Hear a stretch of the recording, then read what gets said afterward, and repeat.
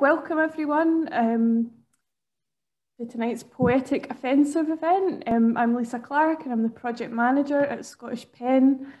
Uh, if you don't know much about our work, we're a charity and a national membership organisation working to defend writers' freedom of expression. Um, we're part of the PEN International family of over 140 independent centres worldwide. And we work together with writers, readers, and activists to support writers at risk of imprisonment and censorship, to promote translation and literature across borders, and to campaign on issues of free expression. Uh, you can find out more about our work and you can join us in membership at scottishpen.org. Um, and also, if you enjoyed tonight's event and you would like to share a small contribution towards our work, you can also uh, donate via our website, if that's not too cheeky to suggest. Um, before I hand over to Mario Relich, tonight's event chair, I'd just like to um, yeah, remind attendees if they could keep their cameras turned off throughout, that would be really helpful. Um, the chat box is open if anyone would like to share their feedback or any questions, and I'll be monitoring that throughout. Um, finally, tonight's event will be recorded and shared on our YouTube channel. So please keep an eye out for that in the coming days and feel free to share the link with any friends who might be interested in watching.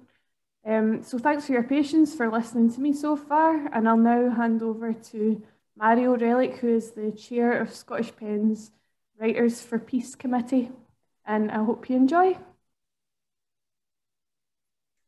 Well, thank you, Lisa. Uh, I, am not terribly sure. I seem to be identified as you, and, and you're identified as Scottish Pen, but that's okay, I suppose. But That's true. I'll, I'll, see if I can change that. I'll see if I can change that. that. I mean, does everybody see my name there? No, anyway, it doesn't matter. So, so anyway, hello and welcome, everyone. Um, I, am going to be uh, as brisk as possible because all, all our um, five poets, they've all published a great amount of poetry and so on and have, uh, they've been involved in all kinds of activities. So, so my introductions will be quite short and will only give you a very small fraction of what they actually do. So um, uh, we'll, we'll start, oops, oh, oh, yes, okay, great. Uh, so we'll start with um, uh, Sheila Templeton. Um,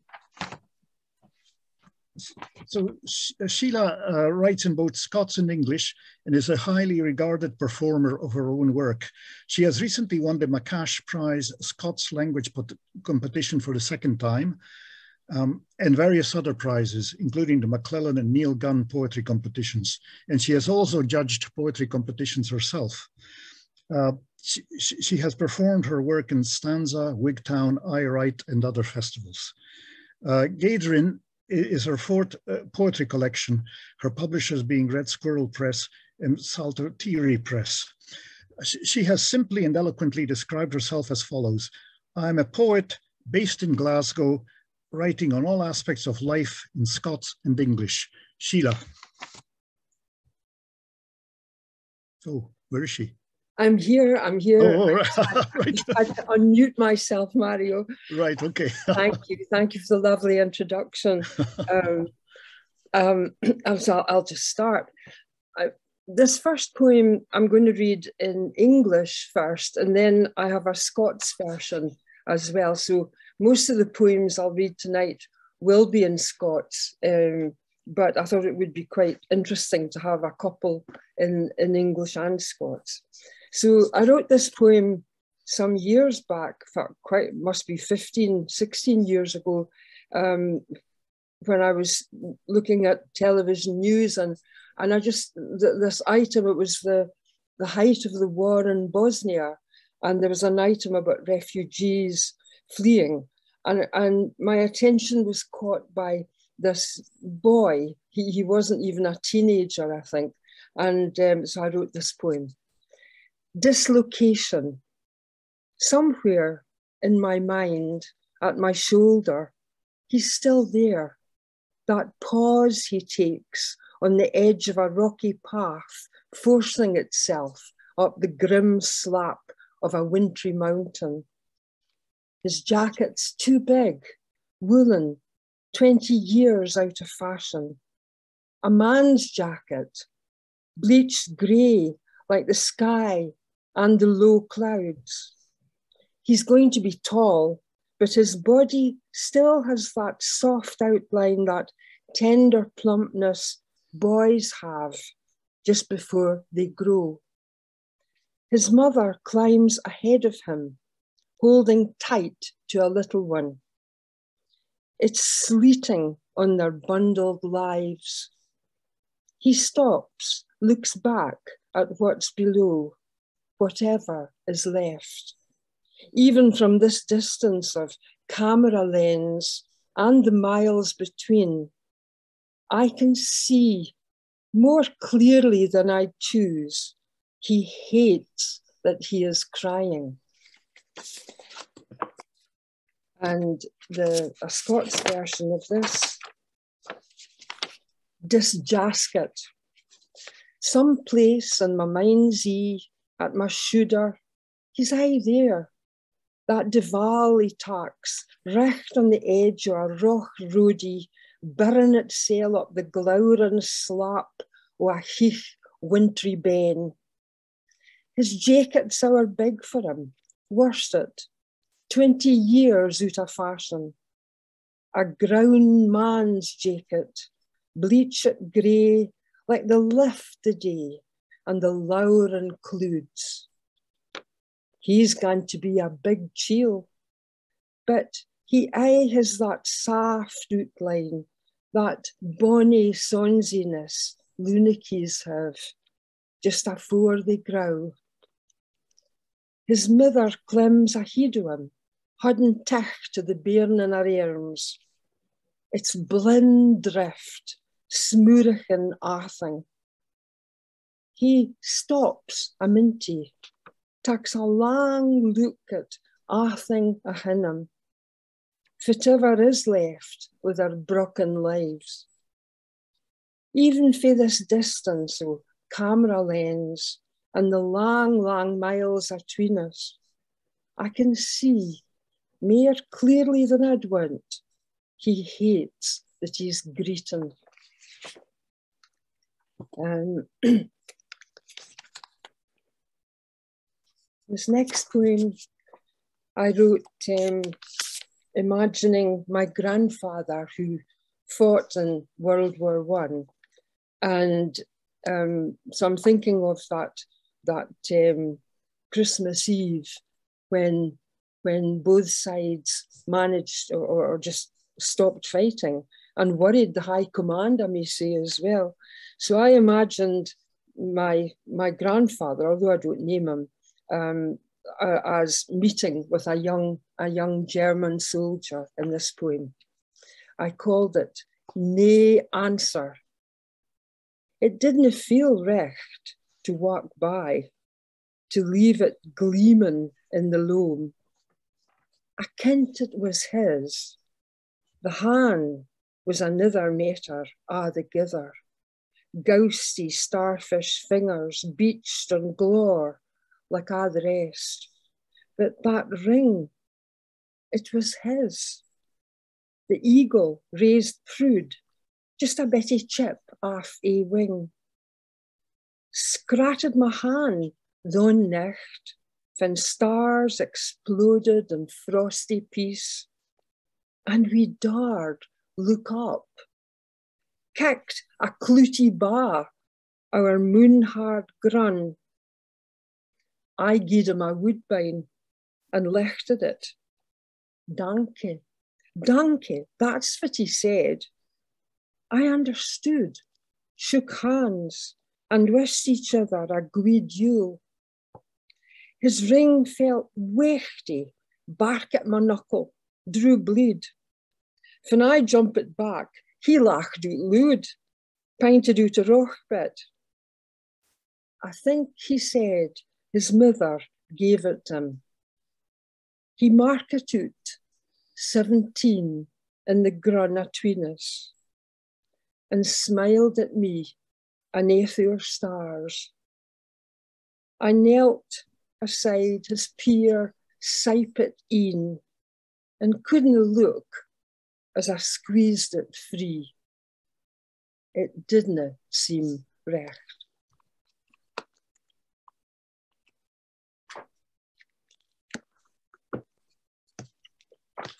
Um, again, I'm going to read a poem in English and then and then a Scots version. Um, this I wrote this um, again some years back. It was at the time it was 2009. In fact, there is an epigraph. BBC news report from Rafah, Gaza, 2009, on a night sharing a basement with several families. The BBC reporter was actually there and, and, and reported what he saw. Living room. A man is dancing at 3 a.m. in a dirty basement, not for joy. He's exhausted, eyes red rimmed from lack of sleep, from weeks of falling masonry explosions shattering hope, the sour knowledge that Israeli tanks are so very close. Still, he dances for his little daughter. She needs to sleep. They all need sleep.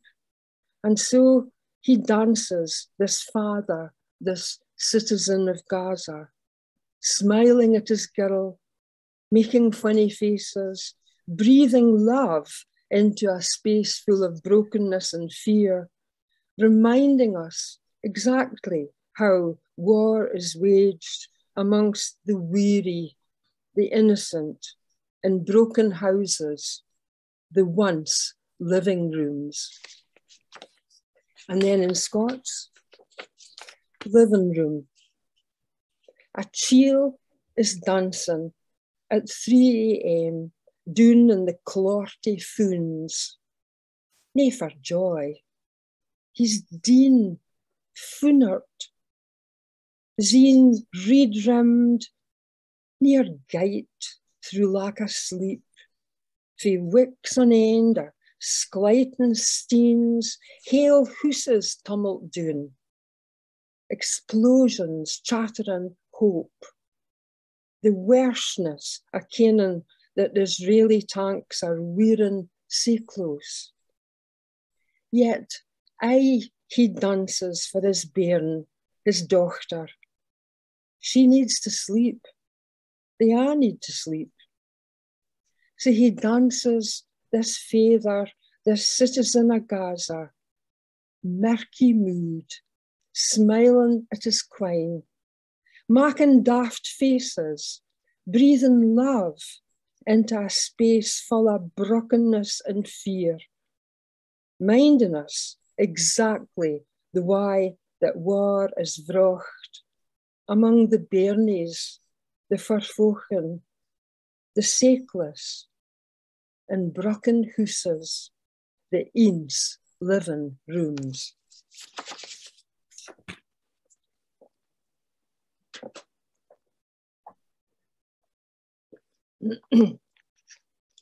and um, this is just a little poem I wrote. Um, it was actually for an anthology um, paying tribute to Hamish Henderson. So I thought that's a, a nice poem to read tonight. Another sang for Hamish Henderson. Ah, Hamish, what sang would you gie us a day? There's nae winter duel Tak your pick. I'd like fine to see you stammy gasker, the hail jing bang them, we a muckle flightin'.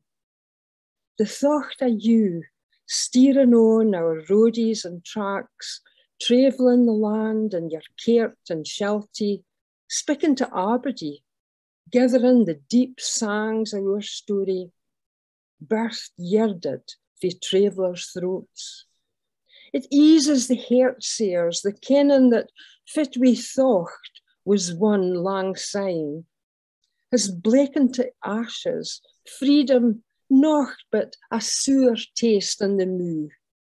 Oor fechten and argy bargin, nothing but a muckle yet, for our meesters to hease through and hammer us into the grun. We need your bonny songs. We need to true that roses and geans can turn to bloom, that your shalt is aye dinging her way to the long promise o' another hairst, wheel gathered, its hard gowd shine, the crack and glint of stubbled corn.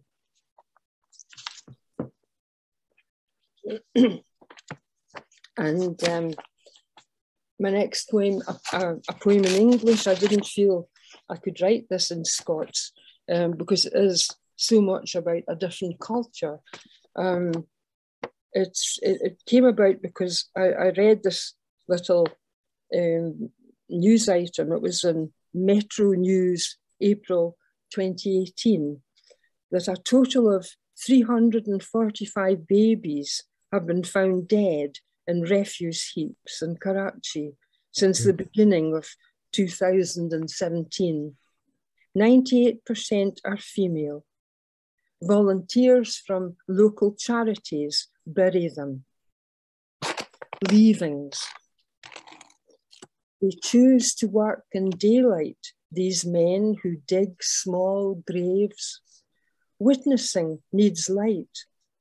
There's time to straighten bird boned limbs, smooth tissue fine eyelids to tender final sleep. Offer some sweetness of prayers sung as vain antidote. They know, of course, that nothing, nothing can lighten what happened here in the dark. Let's give them names, for in the haste to discard, no one blessed them with a name. Azali, made of honey. Azza, gazelle. Shalma, good natured. Baja, beautiful. Atira, fragrance like perfume. Janani, heavenly. Zariya, flower. Beautiful, sweet, heavenly, graceful, delicate, good natured, fragrant babies. And find more names, so many, many more. Make certain, though, of one bitter truth. Find girl names, female names.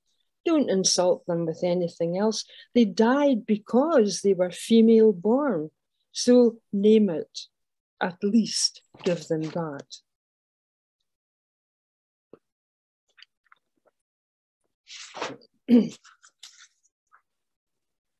this next poem is actually a translation um, of a poem by Maggie Rabatsky, and her poem, I can't pronounce the Gaelic, Meg, you, you I'm sure would do that, but in Gaelic it's simply news. Um, so I've called it news gisant, which means um, parched for news. Gisn't is a Scots word meaning dried out or parched. It can mean thirsty. So my Scots version is um, thirsty for, for news. And it's, it's um, a poem about, again, displacement, somebody from their Hebridean home, no, well, a, a descendant of someone who's had to leave the, the Hebridean home. Um, so it's this person going back and finding what is now there. News gisn't. Fit news would I fetch you of this place anew. I could speak about the course water brack split new along a strand and speak mair about fit why nothing grows now in the garden you warstled for snail twins. I could yatter on about the bonny ground for ye grape top, pearly buds and utates. Ah, sad it new in lang wiry girths. While the grizzled sea chaves on, athing for yard, athing for yard. I could tell you that I took flecht afore Merkin, feared for a chilpy glower a darkened wind is. But I'd rather tell you how Yowies breathe still our green parks, and the chiel with the sma black tyke still has your name. That be thank it still comes afore meal and mate in the hoose of your brother's loon, and fin we closed were in for the good words, it was your voice in the room. Um, I'm just, I'm keeping track of time. Um, so I think I could probably do um, two, maybe three yeah, more. Uh, yeah, two, two would be. yeah, that's fine. This is um, this is a poem um, about John Maclean, the the great Scottish radical, the Clydeside radical. So he was often called the Fechten Domini, the, the fighting schoolmaster. The Fechten Domini. A hint your hearse they gathered that December day.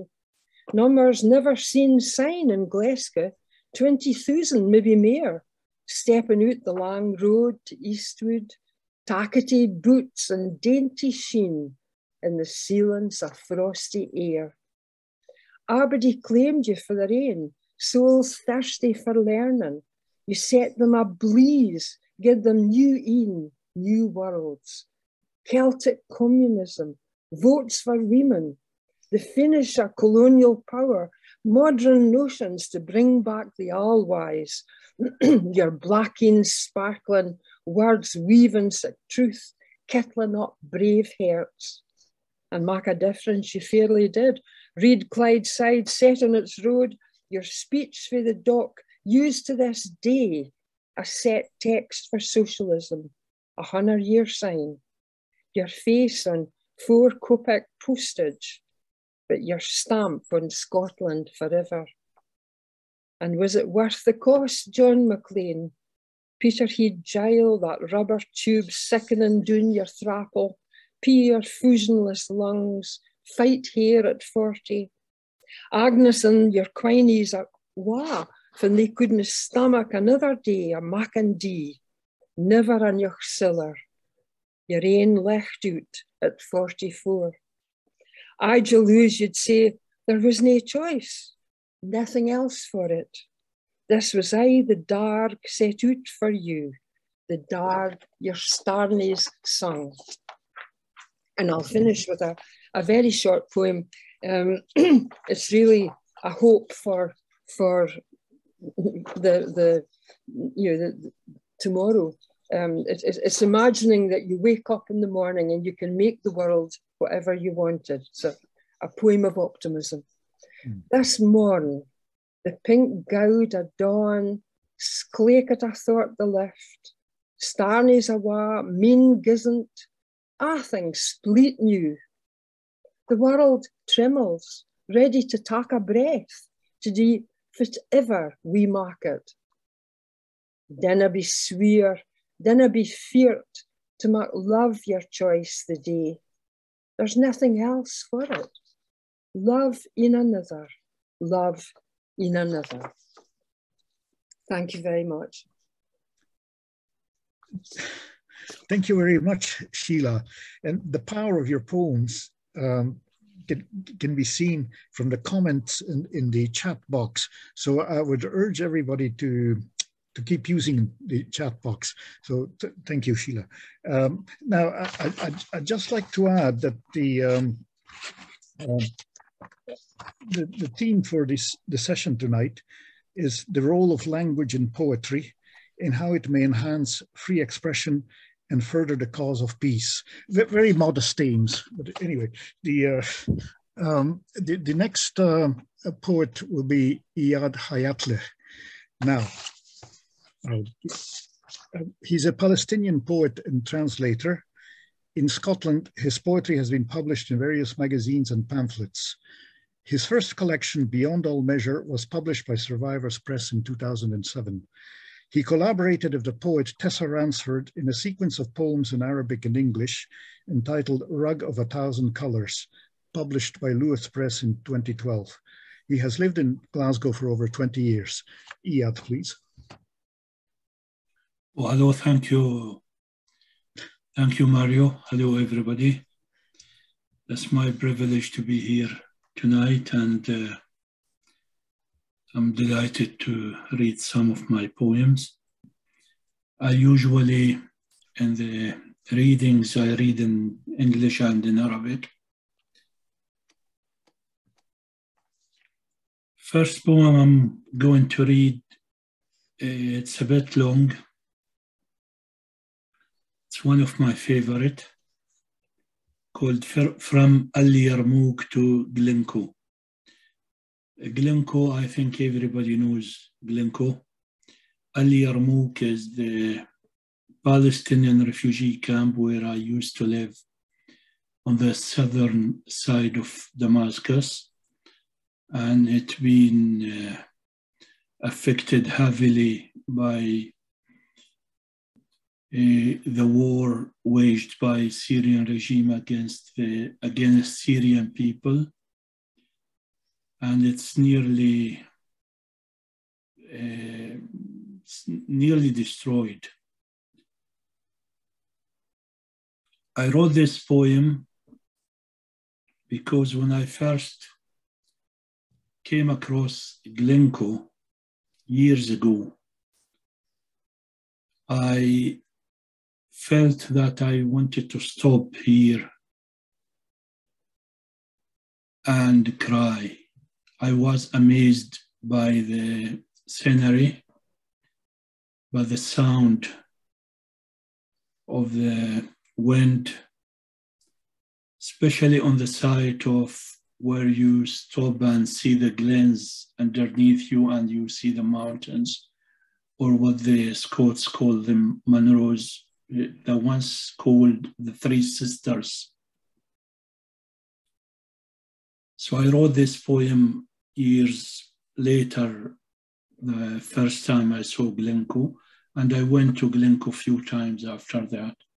And I like to go whenever I have time or mood. We'll read it first in English and read the Arabic version afterwards and see what time will be left for me to read another poems or no. Here, uh, there's few uh, names of locations, mountains or cities or refugee camps in Syria and Palestine and I used uh, phrases of uh, or verses of uh, songs. The Scottish famous song about the Glencoe massacre and another folk uh, Palestinian song in the end of the poem. From Al to Glencoe. When the nostalgia of my father's Galilean house attacks me, I come to sprinkle my revelations here. And when the flames of yearning for my mother flood my heart, I come to put them out here. And when my prison becomes so tight, I come to weep for my Lemise here. Here in Glencoe, on the river bank, amongst the wilderness of my waiting. I see the moon pale in shame, for from the tears of bereaved mothers, and the steps of my grief march behind the shadow of a girl wandering on her choked voice, chasing the footprints of a child who escaped the murder's knife. And my heart hears the echoes of a bagpipe, a bagpipe that dodged the stabs of the monsters of the dark and flew away with her tunes still filling up the space with lyrics. In the mirrors of the loch, I see my face, which was seized by tyrants I, I know these mountains. I save their motherly wrinkles by heart. rocks, flowers, graves, snow, meadows, barns, and caves. The silent howling wind, the morning clouds, and the legendary painful solitude, descending streams, ascending tears. I carried their unseen details like love amongst my reps, brought them from my far away country and fixed them here. This is Qasiyun, and that is Carmel Haifa, my torn heart between hells. That is Mount Hermon from my violated homeland, hugging the neck of the sky here and dropping down intoxicated with miracles, dancing with the red, with the red deers of my soul, running liberty.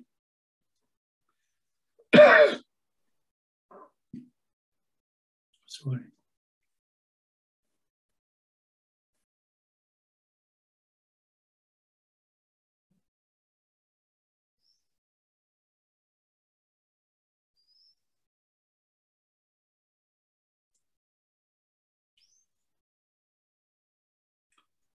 Sorry again. Running liberty over mounds between Rannoch Moor and Glencoe. Lose from my fear free. I spell his curves and the high peaks, the depths of the glens and the overwhelming loneliness, the glory of the eagles and the dignity of the buzzards, the gloomy morning blizzards, the secrets of pine and myrtle trees' perfume. Heather blossoming in my body, leaning on my old wand, the immortality of my diaspora, my lost name in the family tree. Herb smells defined in the bottom of my chest and the size of my ancient grandmothers. Ascending, ascending, it's as if I smell the blood of those who perished in massacres.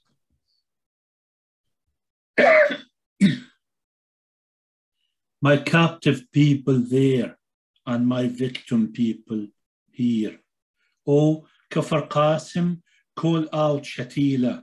Deir Yassin, please wipe my tears in Sabra and tell the Za'atar which repeated in my Yarmouk. House of MacDonald, O you mothers, martyrs, prisoners, you are you who are seeking sanctuary from death and death. Every slain child in the land of Syria, I am you. Take refuge in me.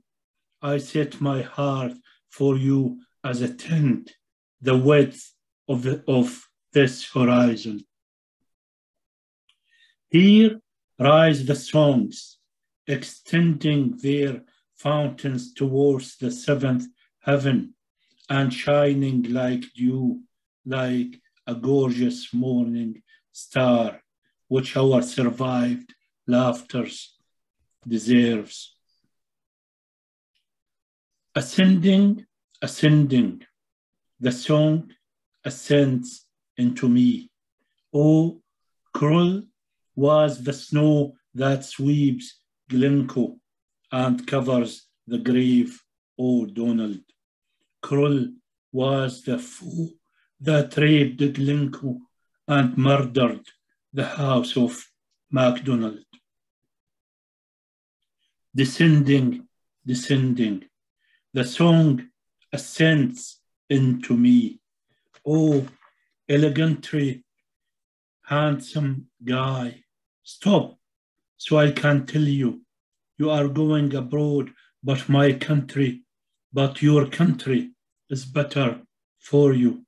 I am afraid you will get established there, my love, and fall in love with someone else and forget me.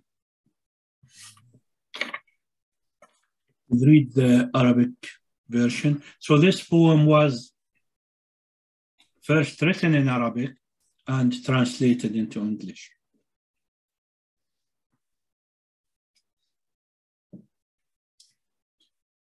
من اليرموك إلى جلينكو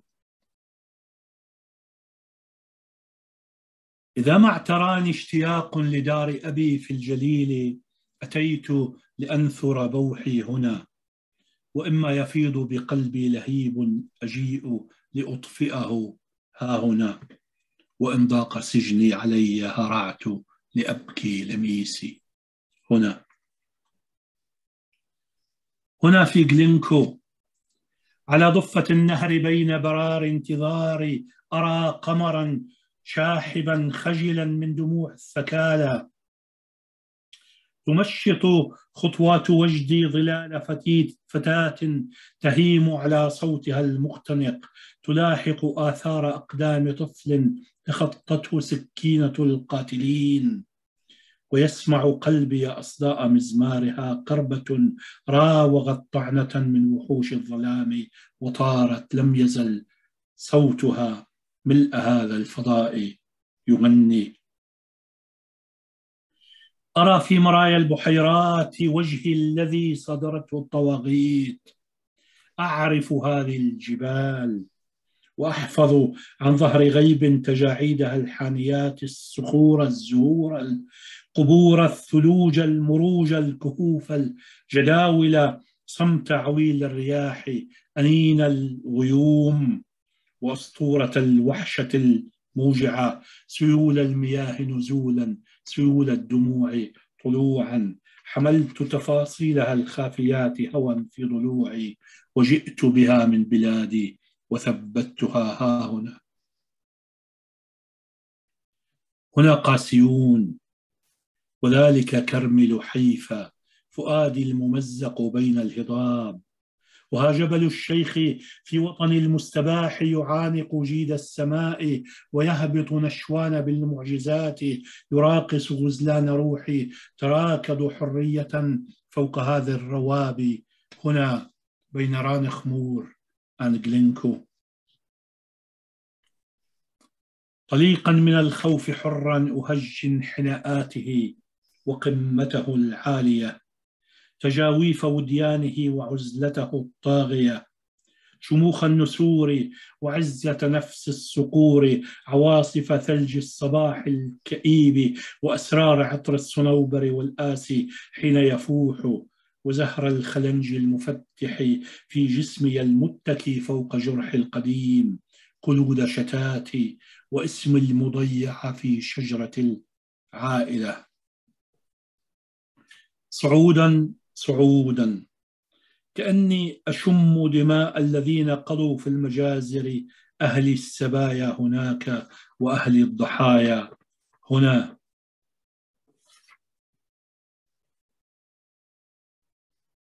صعودا صعودا. تصاعد في داخل الأغنية. كم كانت قاسية تلك الثلوج التي تجتاح جلينكو وتغطي القبر يا دونالد كم كان قاسيا ذلك العدو الذي اغتصب جلينكو وقتل بإجرام على ماكدونالد نزولا نزولا تصاعدوا في داخل الأغنية. يا زارف الطول وقفت أقول لك رايح الغرب وبلادك أحسن لك. خايف يا زاريف تروح وتتملك وتعاشر الغير وتنساني أنا وتعاشر الغير وتنساني أنا Thank you. So that was the first poem. I know it's a bit long. So maybe I have a time only to read another poem. Yes, uh, yes, he could read one more. Yeah, that'd be. Yeah, even only in Yes. English. That's- I, yeah. yeah, Uh, I will read- Yes. I will read only the English version then. Mhm. This poem again called Return. I wrote it a few years ago at the beginning of the Syrian revolution. I imagined that I'm returning to the to our house in Yarmouk uh, to see my mom. Even now, I can't imagine that happening, not even in dreams, because my mom is no more and the house is no more. Return. It is 4 a.m. My heart sneaks towards the alleys of Damascus like a Sufi deer in love with a white dove, like the soul of my father at a wild dawn. He looks for an eight year old boy flying his kite, for a country he had seen only in dreams. He stumbled into a dangling string from the middle of a sky addicted to sorrow. For six decades and the seventh to come. He stops at the fourth house on the hard side and hugs my shadow, which has long remained over the doorsteps. He opens a brown door, ascends two flights of stairs, and opens another brown door. A smell of morning coffee, which is spilled on a straw mat in a cry of memory, awoke in his lungs. The tattered curtains smile joyously at his return. He whispers, shush, and slips left also to the heart side. He kneels over a bed where the back of its queen has been successively broken by farewell nights and the five tales of exile. He stares at the face of an old woman drowning in a sea of sorrow. And for seven children, 22 grandchildren, three homelands, and a refugee camp. And he long lingers reciting his tears. Then, lightly, he crawls as a ghost and kisses my mother's feet, inhaling below them the sweet perfume of paradise and dies there. Thank you, Iyad. There is Thank time to, much. but there is time to read it in Arabic as well, if you if you'd like to. yeah, thank you.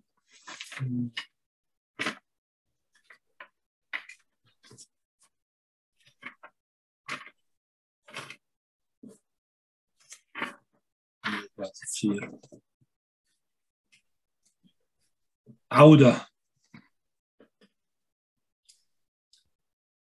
الرابعة صباحا.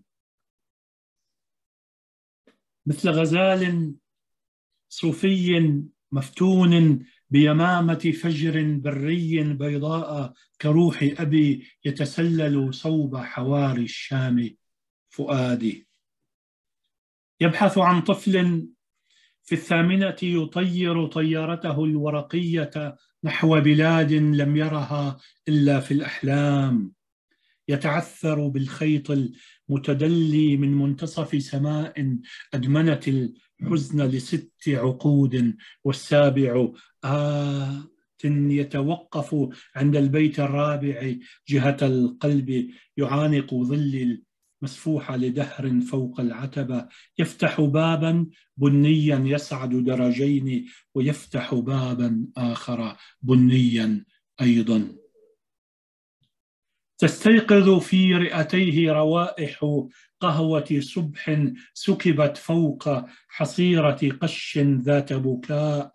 تبتسم ستائر رثات وتهلل للعائد فرحا يهمس ينسل يسارا جهة الخافق أيضا.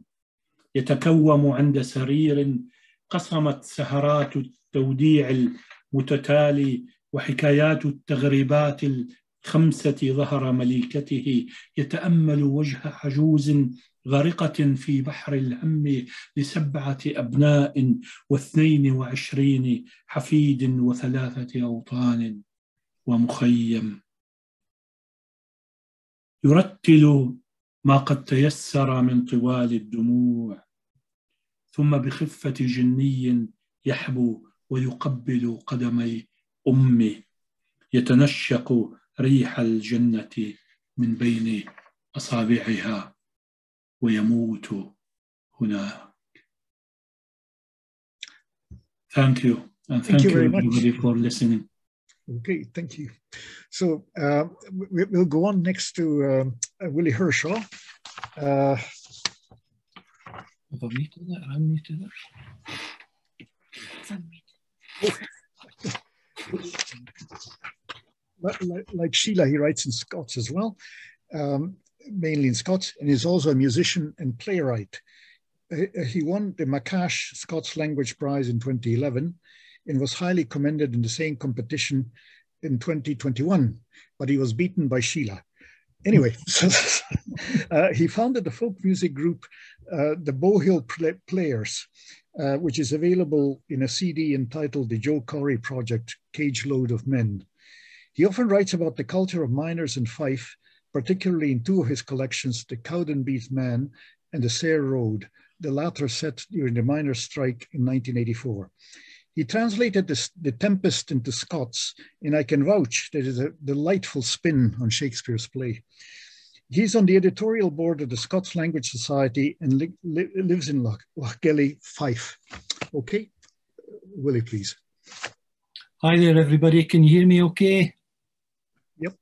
Yep, that's great. Um, I'm going to begin. Uh, first of all, thank you for inviting me along uh, tonight. I really appreciate it and to take part in such a, a good event for such a, a, good good cause and theme. Um, I'd like to begin with a poem from the uh, the, the Sair Road book, uh, which looks like this. Mm. It's a great cover by a guy called Les McConnell, um, yes. and uh, that's uh, on the front. Um, this is a poem called "Spare Me Nae Beatitudes."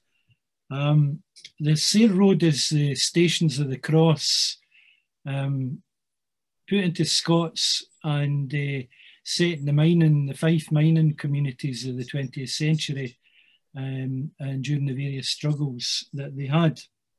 And uh, Jesus is a communist miner uh, uh, in the in the poem. It's a long poem. So spare me nae beatitudes. Bless it or the Shilpit spirit. They'll jig wi' angels in the Kinrick of heaven. Bless it, or all thone we've been stoon by death, for their dear ains will gie them a braw cuddle. Bless it, are the harmless. They'll straveg the earth, never blate. Bless it, are them wi' a druth for recht. They will get Uncle Foo. Bless it, are all them thole and forgie. Their mercy will be well minded. Bless it, are the send a heart. They'll get to sit down to their supper with God. And bless it, are the peace makers. God's leal bairns will hae jam on their breed. And bless it, are all them no mentioned. You're all recht, so dinna be feared. And I think that just about includes us all.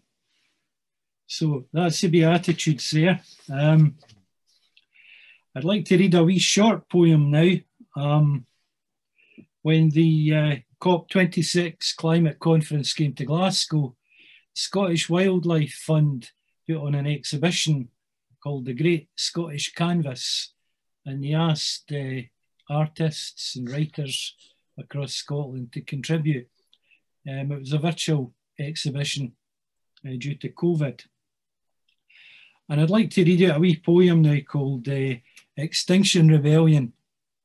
Um, got a couple of words in it.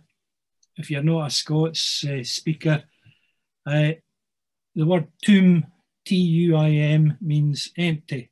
Like a tomb bottle is an empty bottle or glass. And uh, there's another word in it, hettern, which means boiling, you know, like a kettle. Um, I filled it a witten in a tomb plastic bottle and I flung it for it in the wheat. Can you find us? Gay rescue the hettern world. The waves brought it back to my feet. So the theme of that one is maybe personal responsibility. Um, another wee book that I've got out there now, also illustrated by Les McConnell, is called Earthbound Companions. And uh, it's a book about beasties. And if you look there on the cover, you'll see Rabbie Burns mm-hmm. and a mm-hmm. giant mouse.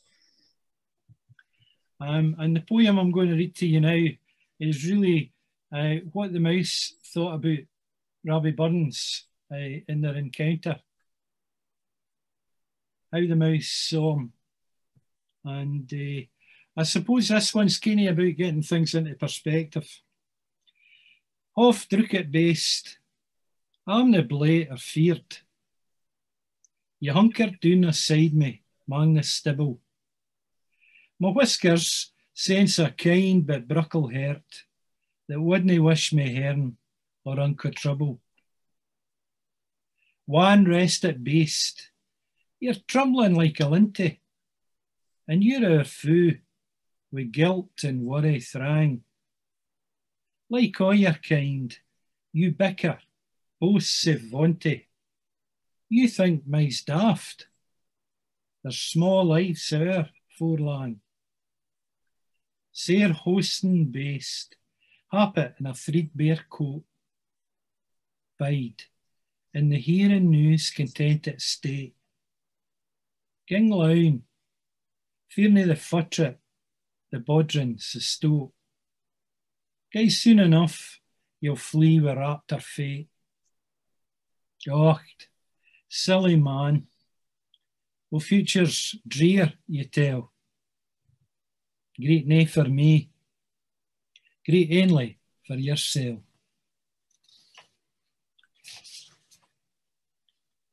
And the last poem that I've got for you, and um, I'm presuming uh, that there's a lot of screevers out there tonight, uh, maybe listening in.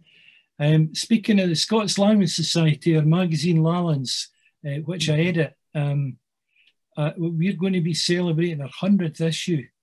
Uh, the very first issue of Lallans came out in 1973. And so, to, you know, the, the 100th issue is going to come out in the spring. So if there's anybody out there with contributions, with poems, any kind of writing at all in Scots that they'd like to send in, it'll be very, very welcome indeed. Um, this next poem is maybe more light-hearted uh, compared to what we've, we've, been listening to, the fine poems that we've heard tonight. Um, it's called Nae Information's Ever Tint. Tint means lost in Scots. Um, and it's about uh, the dangers of uh, social media and um, and you know on a personal level how it affects us all. I put myself on Visbook. Oh jings, my sight fair birls. It's I was thrang with wittens and a rack suit to the world. There's photos of my outside work with its bonny plastic cladding. The barbecue at the last back end, and our Bella's Gowden Wadden. The talk I gied at the Provost Club, and the Scandinavian cruise.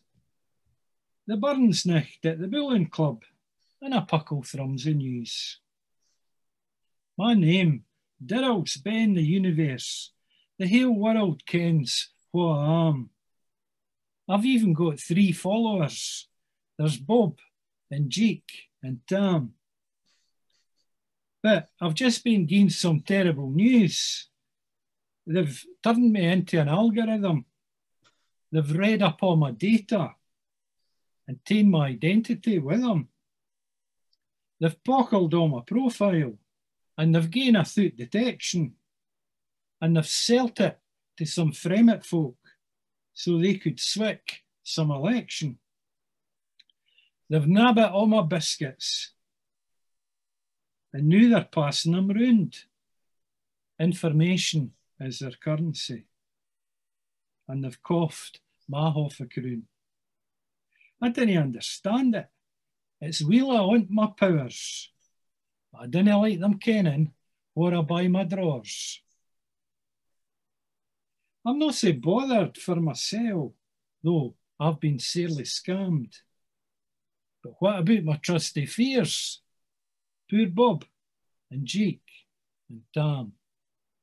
So let that be a warning to all of you out there about the dangers of social media. I'm going to finish up with singing you a wee song. Um, and uh, a few years ago, when I was a teacher in a past life at Beath High School in Cowdenbeath, uh, I was asked to write a song for the junior choir. And I knew that junior choir did lots of concerts promoting school and uh, they, they, went on various tours and things like that. So I really wanted the song to be uh, something that the, the bairns would enjoy singing and that had a good message, a good positive message. And uh, so I wrote this song for them and it's called A Lead Called Love. And it ties in with Sheila's last poem that she read. And um, lead in Scots means language. So really what this song is saying is that your language should be one of love. And it doesn't really matter what your language is um, whether it's Scots, English, whatever.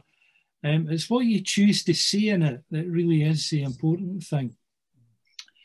And uh, I'm glad to say it was, uh, you know, it went down well. And of all the songs I've written, this one is probably the furthest travelled um, because um, the, the choir have sung it in St Paul's Cathedral, uh, they've sung it in Westminster Abbey, the great banqueting hall at Stirling Castle. And I've sung it too in the Ship Inn in Lochgelly. And I'm going to try and sing it tonight for you. Um, just a wee word of warning. I've, I've done these things on Zoom a couple of times, and people have said that the sound quality coming out at their end isn't very good. Um, so can I just reassure you that here in Lochgelly, it sounds absolutely brilliant, like Jimi Hendrix is playing.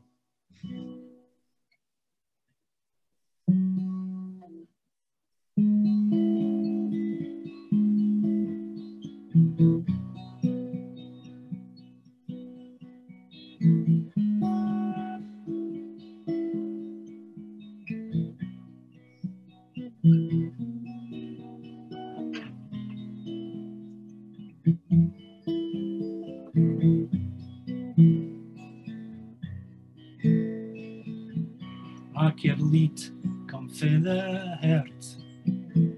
Your creed, het snow your ert. You're the so tak the pert. Your lead be, make your lead be love. Hear the future ring to us. Hear the future sing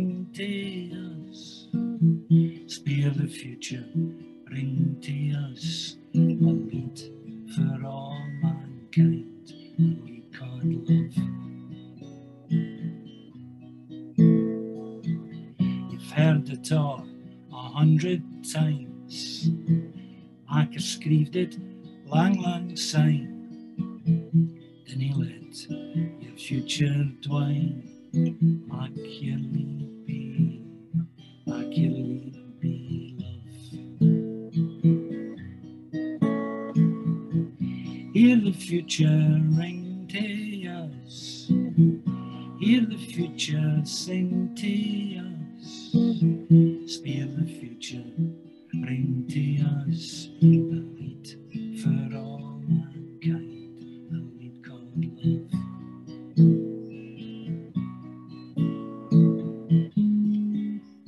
Let it be I There's no either way.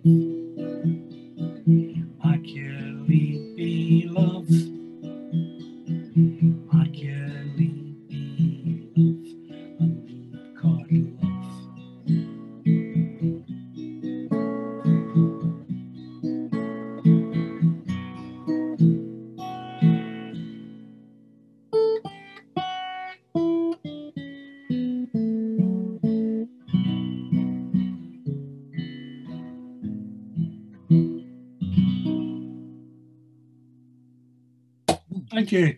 Thank you, Willie. Thank you. Oh, oh. Right, we'll go on to Meg Bateman. Uh, she's a Scottish poet, academic, and short story writer, originally from Edinburgh. She can't help that. But anyway, uh, she, she, she did a PhD in medieval Scottish Gaelic language uh, um, religious poetry. Later, she taught Gaelic at the University of Edinburgh. Uh, sorry, Gaelic, I should say Gaelic, at the University of Edinburgh, and at the Gaelic College in Skye, where she lives. Her poems are main, mainly in Gaelic and have been published in three collections, Love Songs, Lightness, and Fair Wind. Her latest collection, Transparencies, contains poems both in Gaelic and English.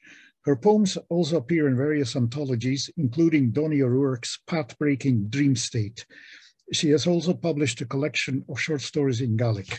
Meg, please. Hello, and um, thank you, Mario, very much for inviting me.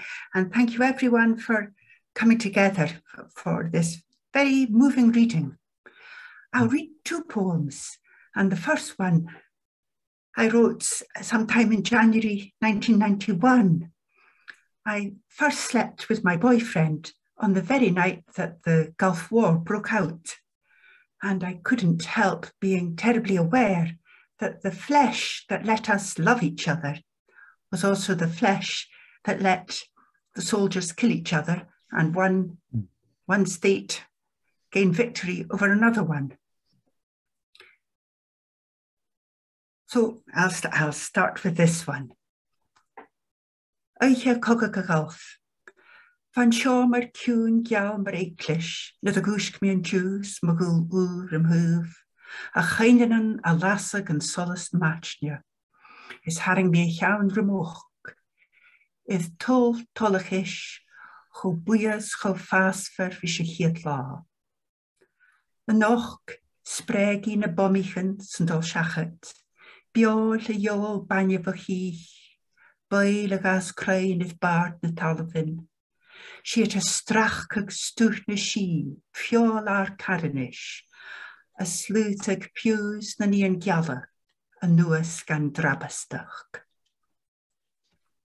On the eve of the Gulf War, the room was quiet and white like a church when I woke today, my new love at my side, his nostrils flaming in the morning light. And I drew his head to my chest on a flood of happiness, as golden and expansive as the first day. Tonight, in the passing, bombs blast away mouths that sucked milk from breast, limbs that grew round on the crops of the earth, ripping the stuff of peace, the flesh of our humanity, dragging even the white birds down in the obscenity. Well, that was quite an early poem. And the next poem I read is a much more recent poem. I don't think I've published it yet. Um, just at the end of the one I just read, I brought in the, the birds, the innocent nature that was the, the birds that were being drowned in oil spills caused by the war. I was reading about Albert Schweitzer the other day. Um, he's, he was a Lutheran pastor in Germany and a wonderful interpreter of Bach. He was a wonderful organist. But when he was 30, he decided he should devote his life to other people. He trained as a doctor and he opened hospitals in Africa. And his kind of uniting philosophy was reverence for life, for human life and the environment. And this poem cre- crept up on me. First of all, I was looking at roadkill, our near indifference to it. If you go up the A9, say, towards the Highlands that I frequently do between Edinburgh and going home to Skye, I often see deer on the roads, um, badgers on the road, all sorts of creatures, and we kind of think, oh, well, it's inevitable. And um, this poem comes rather bitterly, uh, looking at roadkill, and that itself becomes a metaphor for other victims on our road on our road to progress that we kind of i think we use the economy and capitalism in particular as the only justification for action that anyone sensible should agree with. I'll read this in english first and then in gaelic. Roadkill is its title. They're like pavarotti in silhouette one hand on the heart the other extended their skins grown crisp on the tarmac. Shadows of that night they gleamed succulent, spawn bearing, mate ready, dewy, ditch bound in the headlights. There were just too many to avoid, however neatly we slalomed between them, too many different sizes to tell in the rain and the dark which were toads and which pebbles and we had to get home sometime. The roebuck bawled, my sister said, when she cut its throat. Unlike sheep, she said, that die silently. It had no expectation of the glancing blow that flung it into the fence where it stuck, where maggots hold its trailing flank. She thought it better to slit its throat than ask her neighbour to come with a gun which could take a while, as it was Christmas. It had survived the winter till then. Snow, sleet, hunger, and rain. It had no desire to die that day. The knife hurt, and a cry came from its surprisingly dog like muzzle. Before the images appear, the warning we might find them upsetting. Children in the Yemen, like E.T., more bodies washed up on Europe's shores, the flotsam and jetsam of history. Their lives do not count. Their deaths, loathsome reason whispers, pretty much inevitable on the superhighway to progress. Hmm.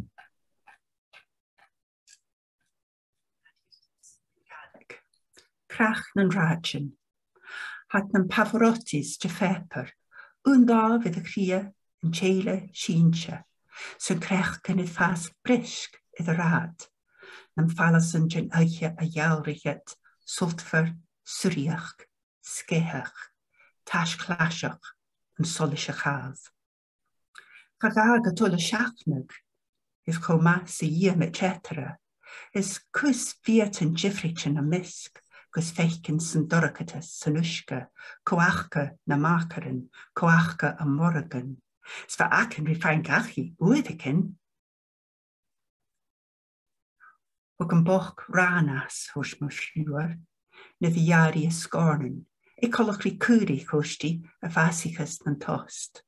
Char o dŵleca fi sy'n sglioch ga helic yn jensa ffarmro stica is na creifann atálag a llys ris an lár. Húlí gom bearsta hí áhacha na iriad a nábí híon le gunna, a fedag úne is díine na nolig a dol.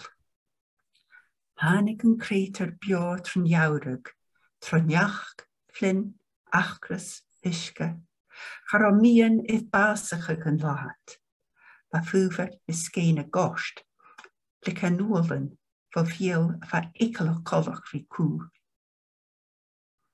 Mys noch na jalavan yn rawag gydoch ag yn cwyd drygon, clawn sy iemen is colus i ti ora. Tulig chorp i chlatich yn dy llorpa, yn laia yn tiwr na hectri. Chanill lwach idd yn behe, Ys yn bas han reis yn graniel a cacr si, chafwr do llachanta. Is prifrad and yrstish. And on that depressing note, I will stop. Okay, thank, thank you very much. Um, I mean, if you wanted to read another, one other poem, that'd be okay. Um, if you felt like it, I mean. I, th I think uh, most of my um, most of my poems are love poems, and I think those are the best for the topic tonight. Okay, okay. But thank you. Okay, thank, thank, thank you, Meg. Thank you. Okay, we'll go on to Wahid Davar. Um, He's an Iranian poet who writes in Persian and, and an award-winning artist as well. He's best known for a work which he wrote in Liverpool when he fled from Iran, Nassim's Testament. It has been described as an epic telling this, uh, an epic telling the story of a journey through his own eyes and an imagined version of his departed friend and the inherent sacrifice that migration demands. Currently, he's a PhD student in Persian cultural studies at the University of St. Andrews. So um, here's an honorary Pfeiffer. Uh, his dissertation takes a penetrating look at language and belonging. Uh, go ahead, uh, Vahid, please. Um, hello, Mario. Hello, everyone. It's a true privilege and pleasure to be with you and uh, to read along uh, with such good poets. Um, so tonight I'm reading three poems to you, all self-translated or semi-self-translated because others have been helping me to refine the translations. The first one is Ode to the F-14, um, which is an interceptor fighter jet. Um, so it starts with an epigraph, which is an extract from a Hafiz Ghazal. Hafiz, Hafiz of Shiraz was a medieval poet from my hometown, Shiraz in Iran, best known as an advocate of wine drinking and an enemy of hypocrisy. When Hafiz speaks, it's no surprise if Venus dances in the skies and leads across the heavens expanse, Lord Jesus in the whirling dance. Hafiz of Shiraz. Above the fourth roof of heaven, where Hafiz sings to Venus's harp song, as Christ dances, a supersonic fighter sweeps past, leaving a circular white boom. Placing his set square leg on the cloud, Jesus ponders, see that geometric cat with spears beneath its wings. Well, not quite a cat, more like a fire-winged moth. And there was I thinking the sons of thunder were James and John. Looking up at the blank dome, Hafiz says, the damn thing scattered those adorable cherubs. It was Iblis, wasn't it? Venus, heartstrings still trembling after the sound barrier collapses, fingertips a down feather off her skirt. A breeze takes the little parachute away out of sight.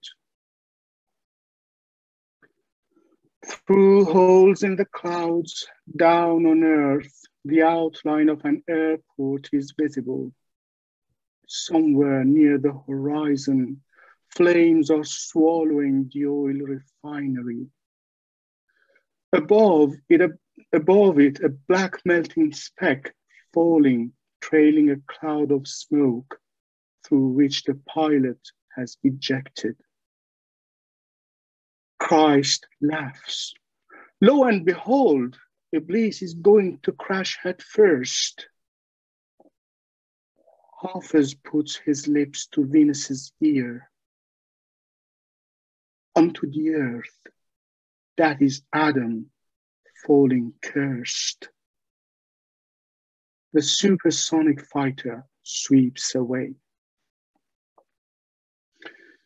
The second poem is one of my 11 pastorals in my debut collection.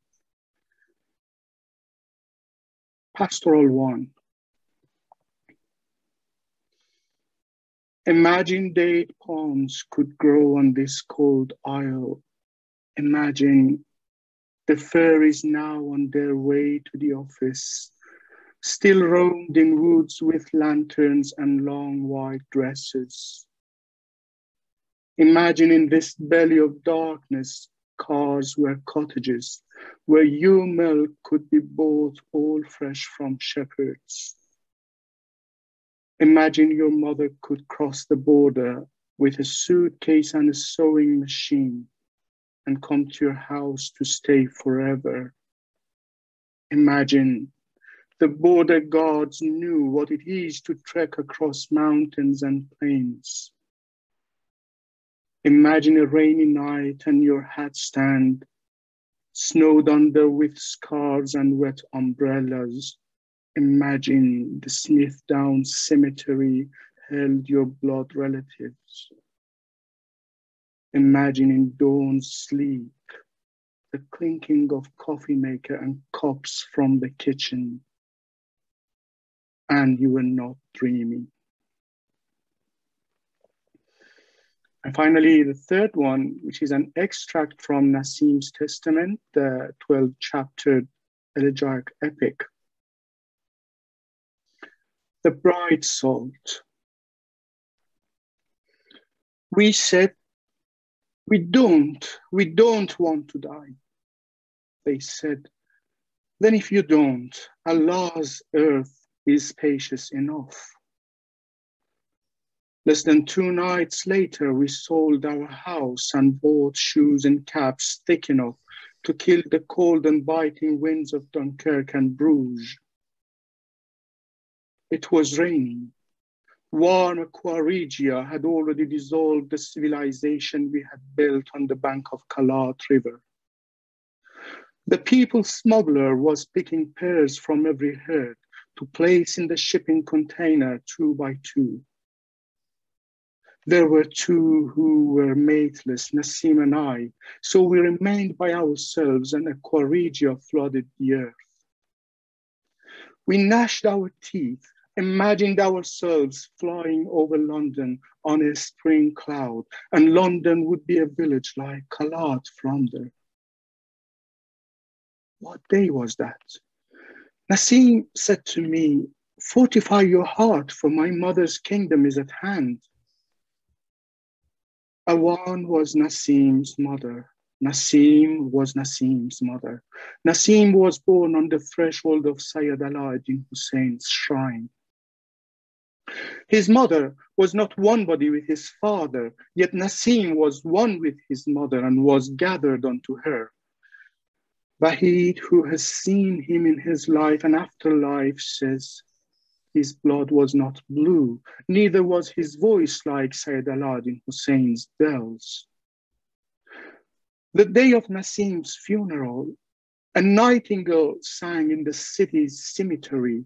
Lorca blew into a bull's horn, and the National Library's card index overflowed with his name. He was the bright salt prism who cast a rainbow on the unseeing world. And of his funeral, they say, it came to pass that Ramran took his firstborn to the mountaintop, held a blade to his throat, but God sent a ram, and the ram bleated, Prithee, prithee, O God's friend, leave him alone. And on the day of his birth, the shrine's forty lamps were sweetened with lemon and quince. And on the day of his death, sparrows lined up like loom strings on the cross and wailed. And a school of soul appeared at the edge of Syria Island and put their lips to the snow spring. In fleeing we were born, knowing that only brains flee abroad on airplanes, but we were ghosts who fled at midnight on a shipping container. My father sold our house, and I was the first border note of my tribe to discover the north of the earth. Fleeing was a birth, the rivers were born without their permission and they cross the borders, but nobody counts their pebbles before they pass. Northern cranes fly southward, their tags uninspected by border guards. I, who am both Nassim and Vahid, was a mateless stag, frenetic, crossing the wet Patagon, and the warden of the plain made me declare my faith. It was raining. It was raining aqua regia as though Israfil was blowing to a vuvuzela. I had to imitate Nassim, for he sought the way to Golgotha too. So we didn't stay and were healed of Shiraz. Of life's many vanities, one was poetry, and Nassim was relieved also of vanity. But why did I not say he fell young? Thank you. Thank you. Thank you. Uh, would, would you like to read one, one short poem in, in Persian? In Persian, so uh, may I read Pastoral 1 in Persian? Yes, yes sure. So I read that one. Thank okay. you so much. Okay. Um, yeah. Um, the poem is called Shabani Yek in Persian. It goes as follows. انگار کن بر این جزیره سرد نخل خورما میروید انگار کن پریانی که به ادارات می روند هنوز. با فانوس و رخت سفید بلند در بیشه می گشتند انگار کن در این دل تاریکی ماشین ها کلبه ها بودند. تا می شد از شبانان شیر تازه میش خرید. انگار کن که مادرت با چمدان و چرخ خیاطی از مرز میگذشت تا خانت بیاید و هرگز نرود. انگار کن که مرزبانان میفهمیدند آوارگی کوه و بیابان چیست.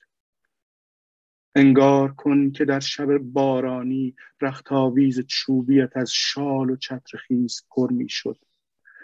انگار کن که مردگان مزار اسم دام خیشان خونیت بودند انگار کن که صبح سحر در خواب از آشپزخانه صدای فنجان و قهوه جوش می آمد انگار کن که خواب نمی‌دیدی سپاس Thank you, Wahid.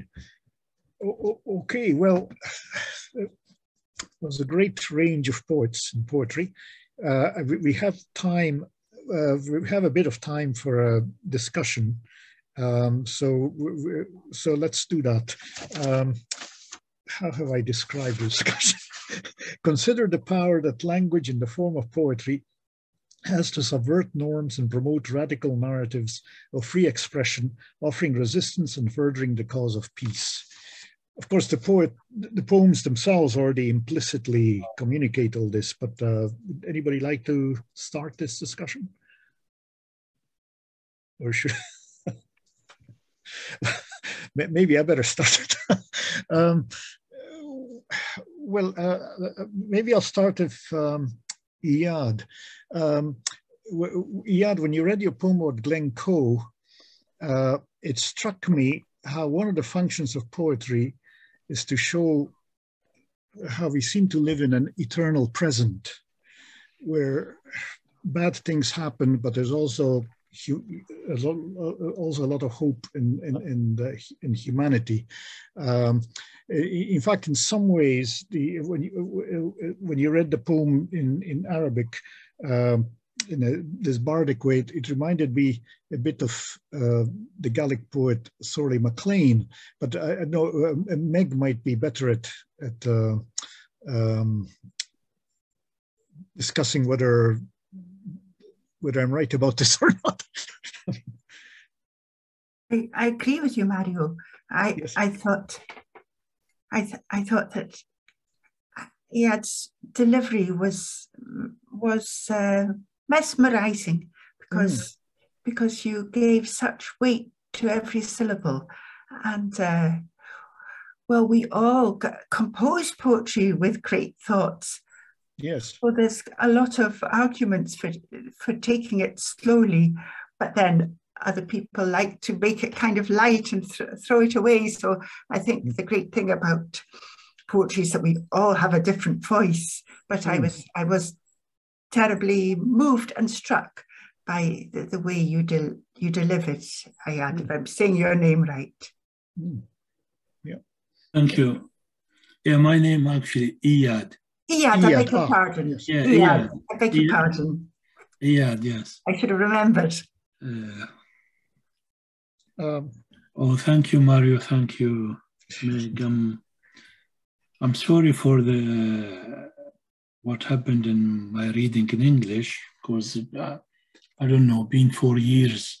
Every oh. time, oh. nearly every time I I read, I go stuck in my uh, it was perfectly fine. It was perfectly fine. Perfectly yeah. fine. I didn't. Yes. and I feel that my delivery in English not as good as the one I do in Arabic. Well, they were both very moving. Yes. And I think this. I think the difficulty of English is part of what was moving because it was, it, it was expressing your effort to communicate. Mm. Yeah. Yeah, it depends on the translation as well. If I could, eh, I think everybody knows this. You write in Gaelic and translate into English, and uh, Vahid, or uh, as I guess your name Wahid. That's that's uh, how it is pronounced in Arabic. In Arabic, yes. In Persian, you say Vahid, yes. In in Farsi, you say Vahid. Yeah. Yeah. yeah, when you translate them from Farsi into English, you can't get the, the um, right meaning. And if you want to get the meaning, you can't get the same music you have in your own language. So this is what happened with me when I read in Arabic or and read the English version. Mm. Actually, in terms of the of Glencoe, when I first came to Glencoe, mm. I hmm. was coming back from uh, Inverness to Glasgow via A82 with my family years ago, nearly 15 years ago. And I saw this uh, scenery uh, for the first time. I stopped and I, as I said, I felt that I know this place. Mm. It's as if I've been here before. Mm. but that, that never happened. And when I felt that I want to stand there and, and, and shout, like let my voice reach the, the beyond the sky and I need to cry. I, I didn't know, know the reason. When I came back home uh, and I started searching about uh, Glencoe, so I found out that a massacre has happened there mm. 300 years ago, maybe. I thought maybe that was the reason, maybe. And uh, yeah, I, I like Glencoe. I like to go mm. there every now and then. And I like traveled in my poem between uh, Syria and Palestine and Scotland by, by the time and by the locations as well. I wish I could deliver uh, what I wanted to say in Arabic or in English and translate or interpret my feeling correctly and uh, good. But, yeah yeah, despite I, I want to say something, I'm, I'm not sure if oh. how, how, that sounds, how that will sound to you. Um, because I've been through some circumstances and uh, so I'm no longer. Uh, well, I mean, the, the, the English versions were, were, were moving so, I mean, the Arabic added another dimension, but uh, but I, I, thought the English versions, and they were translated by you, I, I assume. Yes. Yes. Yes. Yeah. Yes. I I do when uh, I said this before in front of uh, many friends and in uh, readings as well that I don't translate my poems from Arabic into English. I don't, even I do like, I like to do a right translation, but I don't want them to look uh, perfect in English. Mm. I want them to look like even, yeah, a little bit in a broken English. Because, yeah, I, I want the listeners yeah. to know that these poems are not English. They, these poems come from different language and mm-hmm. from different culture, from different background. Mm-hmm. And I do try my best to uh, to put the ideas I have in Arabic into English. Mm. But what I wanted to say, um, uh, I'm a little bit, not a little bit, I'm very much lazy in my, yeah, in my writing and in my translation. Yeah, yeah because I'm busy with uh, with a life and uh, yep. so don't don't do that much uh, uh, putting that effort in mm-hmm. writing and reading. So okay. I'm sorry for that. So, it's okay, but but let, us let, go on to um, let's go on to Scots, uh, to uh, Sheila and Willie. How important do you think Scots is in Scotland? Um, do you want? How how important is Scots in, in Scotland? Yeah, how culturally important, eh, politically possibly as well. Well, I, I think it's um, something that's spoken about right now much more than say when I was young. You know, yeah, yes. Uh, suddenly uh, become a hot topic, which which is wonderful in a lot of ways. Yeah. Um, also makes, I mean, I'm finding because people are discussing more and more what Scots is. Mm. Um, it, it does make me a little tentative, more tentative now, which is a shame because mm. when I first started writing in Scots, I just wrote in my my my natural northeast Scots, which is called mm. Doric sometimes. Oh yes. And I was I was happy doing that because that was the language I spoke really until I left home and had to hmm. amend mm. things a bit. I trained as a teacher in London. Mm uh, Yeah. northeast accent didn't go down too well. Um, but so when I first started writing, I was just writing in the way that I still spoke. I'm finding now I'm trying a bit more to do a kind of more generic Scots, and I'm, I'm not sure that's actually a good idea. I was just thinking tonight, looking at some of my poems, which some of which are older, I think I'm just going to go back to writing in pure natural northeast Aberdeenshire and um, hell mend them. if you know, if you see what I mean. I don't know how you feel, Willie. You you write. Yeah, yeah. Could I, I'd maybe say some about Scots? I mean, that's a personal view, but uh, I think part of the problem is that we uh, allow ourselves to believe that Scots is a minority language in Scotland. It's not. Um, and I think the 2011 census uh, dispelled that myth. But we've had maybe 300 years of social conditioning and Mm. a colonialist educational system, which has made us think that it's a kind of perpetually dying language when it's not. It's just it's not the uh, the, the the the status language, if you like. You know. Yeah. I was thinking tonight when I was listening to that poem about a massacre that happened in Glencoe 300 years ago. You know, massacres are happening all over the world in the present. Yeah. But as we have this event here tonight, uh, we are effectively pretty powerless in Scotland because we don't we don't have our own government, we don't have any, any independence, so we don't have a voice on the international stage. Um, You know, uh, a government Westminster can put nuclear weapons in our country. We've got no say in it. Uh, a government Westminster can, you know, go to war in the Ukraine or wherever, stick their Union Jack wherever they want to. But uh, we don't really have any any power or influence in that. You know, we can make the right kind of noises about we'd all love to, to live in some kind of utopia, but we can't exert any kind of uh, pressure because we don't have a voice.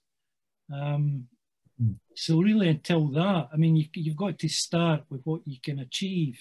So there's a political dimension as well, isn't there? Yes. Yes. You know, and until whatever kind of government you get, until you have a kind of Mm. accountable government to the Scottish Mm. people, uh, we, we're kind of factored out uh, uh, a lot of the kind of big stuff that's going on in the world.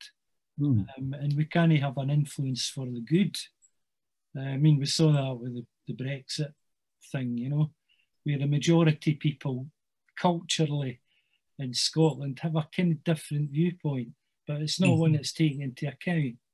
So um, I think Scots is really, really important because over 2 million people speak it. Mm. So as I say, it's not a minority language. Um, it's a, it's the language of you know lowland Scotland, um, and and again we've just been told that uh, Mm. it's a thing that's dying out when it never actually has. Mm. I mean, I think in Burns' time, Burns was worried about Scots dying out, which is one of the reasons why he wrote all these brilliant songs. Um, But it was it was nonsense. Yes. That's Okay. Well, controversial, folk. I'll, I'll shut up now.